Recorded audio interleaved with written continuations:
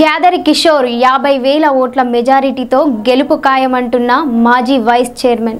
అరవై ఏళ్ళ నుంచి చూసుకున్నట్లయితే మన తుంగతుర్తిలో డెవలప్మెంట్స్ కానీ ఇప్పుడు నాలుగున్నర సంవత్సరాలలో జరిగినటువంటి డెవలప్మెంట్స్ కానీ రోడ్లు కానీ కరెంటు కానీ సంక్షేమ పథకాలు కానీ ఇప్పటి వరకు నాలుగున్నర సంవత్సరాలు జరిగిన దానికి అరవై ఏళ్ళలో జరిగిన వాటికి కనుక కంపేర్ చేసుకుంటే ఇప్పుడున్నంత అవైలబిలిటీలో ఏ ఎమ్మెల్యే కూడా ఇంతకుముందు ఏ ఎమ్మెల్యే కూడా ఇంత జనాలకు అందుబాటులో లేరు. ఇంత డెవలప్మెంట్ పనులు చేయలేదు.